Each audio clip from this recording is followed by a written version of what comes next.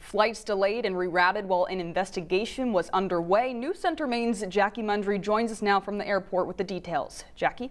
If you do not have a Hi, Hannah. Yeah, police say that there was something that they thought might be an explosive in a checked bag that was leaving here in Portland on a flight to Virginia.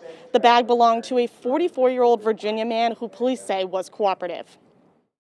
It was a, it was a camera system that there were two levels of uh, security checks that indicated that there was an explosive or TATP. Portland Police Chief Frank Clark says his crew and the Portland Fire Department were called shortly after 1 p.m. this afternoon. Assistant Airport Director Zach Sundquist says his team quickly shut down the airport. We practice for these situations all the time, uh, and so when it actually occurs, uh, everybody's in place. There were six arriving flights impacted by the airport closure. One of those flights was coming from Baltimore and diverted to Manchester. Jason Lindstrom's 14 year old stepson was on that flight. So it's been a little unnerving, kind of waiting and trying to figure out what's going on.